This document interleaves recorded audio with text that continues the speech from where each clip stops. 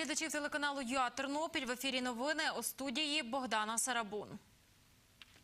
Дивіться у випуску. Сім днів на посаді. Микола Петришин, якого призначили прокурором області, звільнився. Як люди в громадах вирішують проблеми, не чекаючи великих політичних рішень? Напередодні місцевих виборів у марафоні місцеві Суспільне розповідає про проблеми, якими насправді живуть люди в регіонах. Тема цього тижня інфраструктура. Гасив пожежі, знешкоджував вибухівки та ліквідовував повені. У день рятівника тернополянин Віталій Осадчий розповів про свою професію. Микола Петришин, якого призначили на посаду прокурора області сім днів тому, звільнився. Про це повідомила речниця обласної прокуратури Леся Гурецька. За її словами, причину звільнення в заяві він не вказав. Хто очолюватиме прокуратуру далі, невідомо, каже речниця. Нагадаю, призначили на посаду Миколу Петришина 10 вересня, а представив екс-прокурора 14 вересня заступник генпрокурора Ігор Мустеца. Наступного дня Микола Петришин провів прес-конференцію. Під час неї зазначив, що працівники Служби безпеки України та інспектори генпрокуратури перевіряли, чи святкував він своє призначення на робочому місці та чи вживав алкоголь у приміщенні прокуратури. Підрозділ інспекції працював у моєму кабінеті починається з 16.00, тобто робочий час.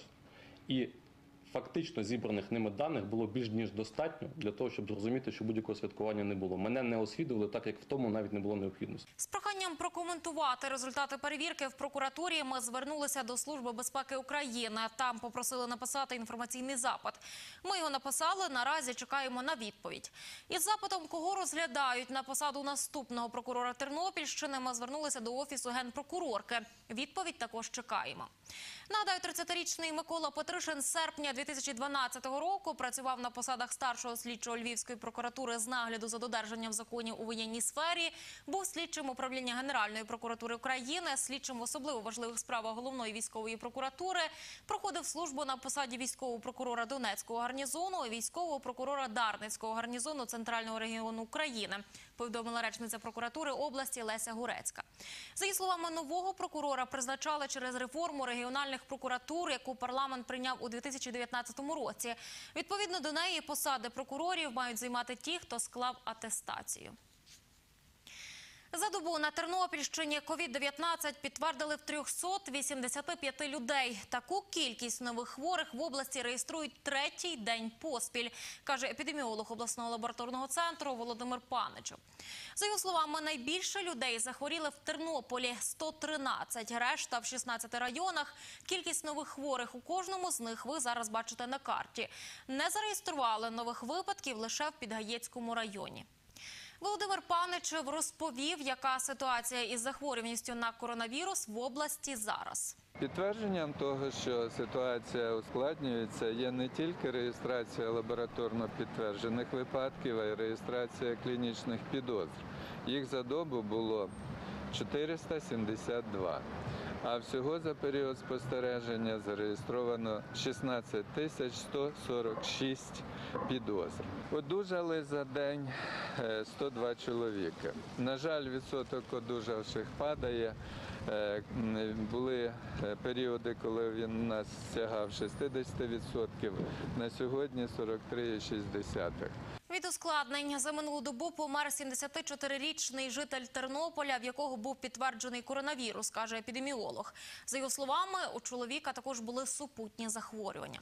Володимир Паничев розповів, які люди в зоні ризику. До груп е, з високим ризиком е, захворювання на ковід і, на жаль, до груп е, з високою можливою летальністю відносяться так звана група медичного ризику це люди із хронічними захворюваннями. І вікова категорія е, це люди від 60 і старше. Медичні працівники лишаються групою професійного ризику. Із 10 тисяч 381 випадку за реєстрованих серед всього населення області 1019 випадків перепадає на медичних працівників. е, тобто близько 10%. За добу на Тернопільщині вірусологи методом ПЛР обстежили 1167 осіб. Загалом з початку пандемії в області COVID-19 підтвердили в 10 тисяч 381 людини. З них 4524 одужали, 5135 осіб продовжують хворіти. І померли через ускладнення 122 людини, каже Володимир Паничев. В Україні за добу зареєстрували найбільшу кількість нових випадків COVID-19 – 3584, розповів міністр охорони здоров'я Максим Степанов. За його словами, найбільше людей захворіли на Харківщині – 483, далі йде Тернопільщина – 385 та Одещина – 325. Напередодні місцевих виборів у марафоні місцеві Суспільне розповідає про проблеми, якими насправді живуть люди в регіонах, і як їх можна вирішувати на місцевому рівні, не чекаючи великих політичних рішень. Погані дороги, мости в аварійному стані, села, куди не доїжджає жоден транспорт, брак питної води, перезаповнені полігони зі сміттям. Тема цього тижня інфраструктура. Це село Баворів, яке належить до Великогаївської громади. Ось так у 2016 році виглядала центральна дорога села. Це дорога районного значення. У 2017-му її відремонтували. Коштувало це 16 мільйонів гривень. 8 мільйонів гроші облавтодору. Решту суми вклала громада, розповідає начальник відділу житлово-комунального господарства Великогаївської громади Василь Гордій. Співфінансування е, ремонту доріг обласного і районного значення 50 на 50. Таким чином, у 2017 році було виконано поточний ремонт дороги районного значення Рабовець-Коморохи, на якій ми зараз перебуваємо, е, протяжністю півтора кілометра в населеному пункті село Баворів. Е, Тим самим відремонтовано в населеному пункті села- Смолянка кілометр дороги і 2 кілометри відремонтовано в населеному пункті села Скоморохи. Таким чином е, загальна протяжність дороги Рабові Скоморохи становить 8 е, кілометрів 400 метрів. Орієнтовно ми відремонтували 4,5 кілометри. А це застав'є. Від центру громади сюди майже 16,5 кілометрів. Житель села Петро Ходань щодня їде автомобілем на роботу. Каже, дорогу відремонтували цього року. Дорога була погана, ями, ну такі серйозні були, час треба було минати ходовою, жалко було. А зараз все добре. Жителька села Леся Дмитерко гуляє з внучкою. Каже, торік тут зламали коляску, бо на дорозі були ями. Дуже зараз е, нормальні умови для того, щоб повезти дитину на колясці. Були дуже ями і дуже було важко їздити. В селі Застав'є була найгірша дорога в громаді, каже Василь Гордій. Ремонтували її теж на умовах співфінансування. У 2019 році та дорога була, от, наприклад, навіть ще глибші вимбоїни були, от та яма. От такі на протяжністю орієнтовно десь кілометр. Це вулиця Шевченка, центральна вулиця населеного пункту Слозастав'я. У 2019 році е, з е, програми розвитку інфраструктури міста Києва було виділено кошти на капітальний ремонт вулиці Шевченка протяжністю 700 метрів, е, де було використано співфінансування орієнтовно наші кошти 15%. А це дорога до села Застінка. Її відремонтували за кошти громади в 2019 році. На це витратили півтора мільйона гривень, розповіла спеціалістка відділу житлово-комунального господарства громади Оксана Троцюк. Тут були ямки, тут було частково щебеневий, декуди був асфальт, але він практично був весь знищений, бо відновлення дороги не було. Василь Гулька живе в Баворові. Розповідає, робота така, що мусить багато їздити. Через застінку проїжджає по чотири рази в день. Каже, це єдиний заїзд в село, тому люди зверталися в сільську раду, щоб їм відремонтували дорогу. Дуже я ями були. Зараз гарна дорога. Але то що возень. Чуть-чуть би на метр шість. До Великогаївської громади належить 15 сіл. У стратегії розвитку на першому місці ремонт доріг, розповідає голова громади Олег Кохман. За чотири роки існування громади зробили 21 кілометр доріг. На це з бюджету громади витратили 25 мільйонів гривень. Ще 11 мільйонів на умовах співфінансування з державою. Найперше, розповідає голова, вирішили зробити дорогу між селами, а також до шкіл, дитячих садків і кладовищ. Ми якраз зв'язали такі дороги, як Скоморохи, Смолянку 3 кілометри, Баврів е, півтора кілометри, Грабівці півтора кілометра. Десь е, цього року завершили повністю дорогу по, е, по Козівці 2 кілометри. Ну і нашумівша дорога, де е, пам'ятається, вічно були скарги, це з села Прошови, тому що там 3 кілометри дороги.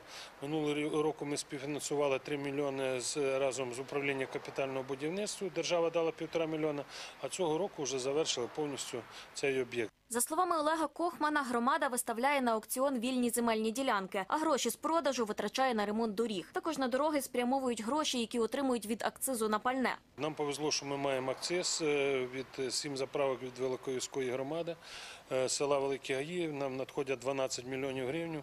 І ми якраз переважно ті кошти даємо в дорогу. Надіємося, що до 25-го року при поступленні коштів, на які ми розраховували от на 20-й рік, але надіємося, що ми 90% доріг комунальної власності відремонтуємо. І все також буде залежало від надходжень бюджет сільської ради. Ми знаємо, що на слідуючий рік не буде акцизу спального, а то мінус 12 мільйонів і мінус роботи, які би ми могли би запланувати і зробити. У Великих Гаях до ремонту дороги долучаються жителі села. Борис Зубаль мешкає на вулиці Шевченка. Каже, дорогу на вулиці відремонтували місяць тому, а заїзди до будинків в проєкті передбачені не були. Тому люди роблять їх самі. Ну, вкопуємо трошки, щоб було, щоб заляти потім бетоном. Дати глибше, щоб тримало. До цього на цій вулиці була кам'яна дорога, яку жителі села робили у 80-х роках за власні кошти, розповідає Борис Зубаль. А це вулиця Ярмуша у Великих Гаях. Її ще не відремонтували. На цій вулиці живе Петро Качуровський. Розповідає, на сусідній вулиці Зеленій дорогу зробили. Ремонтували три роки і торік завершили. Тепер, каже, чекають, коли черга дійде до них. зробили дорогу аж туди донизу. Е, По вулиці Шевченка зробили в Великих Гаях. Ну, деякі там дороги ще не зроблені. Ще бажано би тут нам зробити, в Ярмуша, до центральної дороги, до Тернополя. Були ями, було важко. Машина е, розбивалася ходова. Василь Гордій каже, на Ярмуша дорогу робитимуть, коли будуть гроші. У Великих Гаях вулиці ремонтують тільки за гроші громади. Зараз ми перебуваємо на вулиці Зеленій, населений пункт Великі Гаї. Проводили ми тут е, на протязі трьох років поточний ремонт на суму по 200 тисяч гривень. Таким методом е, поточним ремонту по 200 тисяч е, орієнтовно в рік ми робимо від е, 10 до 20 вулиць. Соломія Струс, Андрій Бодак. Новини на Суспільному. Тернопільщина.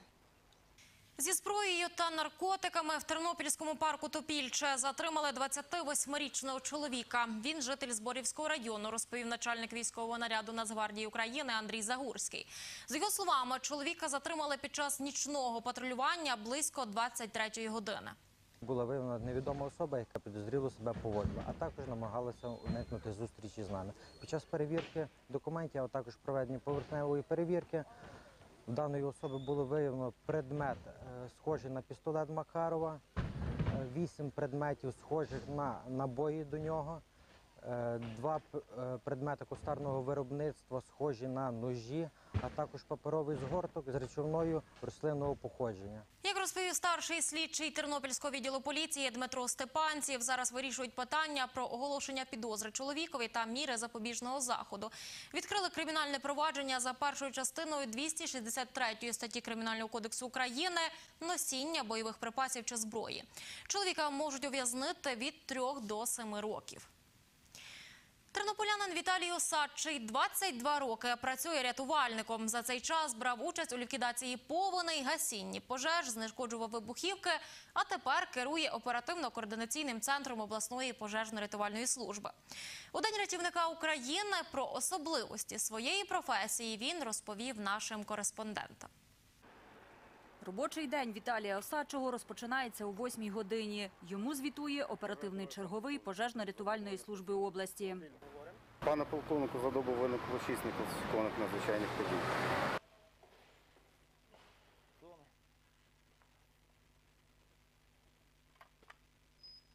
Віталій Осадчий відповідає за роботу штабу на пожежі, а також керує диспетчерською службою оперативно-координаційного центру. Тут протягом доби диспетчери приймають від 100 до 300 викликів на лінії 101 і 112. Доброго дня. Це Державна служба з надзвичайних ситуацій. З'єднана людина потребує допомоги. Від взаємодії з диспетчером залежить оперативність роботи пожежних, каже Віталій Осадчий. Основна їхня задача це прийом, обробка викликів, а також направлення необхідних підрозділів для реагування на ті або інші е, події. Декада, декада, я 7-1, прошу на зв'язок. Всі води декади на зв'язку, чую вас добре. За допомогою радіозв'язку ми зв'язуємося і з нашими підрозділами, які розташовані як по області, так і з підрозділами, які працюють безпосередньо на місцях надзвичайних ситуацій або пожеж. Оперативно-координаційний центр відповідає, крім того, що приймає ці виклики, відповідає також за те, щоб на місцях е, виникнення надзвичайних ситуацій, масштабних пожеж, е, першими організувати роботу прибувших сил і засобів. За словами Віталія Осадчого, найбільше запам'ятовуються випадки, коли вдається врятувати чиєсь життя. Тоді ти відчуваєш, що ти дійсно знаходишся тут не просто так, не просто так е, ти присвятив своє життя цій роботі, цій службі. Яскравішим моментом можемо сказати 2018 рік. Це пожежа е, дитячої обласної лікарні. Там нашими підрозділами, нашими рятувальниками було врятовано за допомогою спеціальних засобів 17 дітей. За час служби Віталій Осадчий був командиром рятувальної роти, очолював групу піротехніків.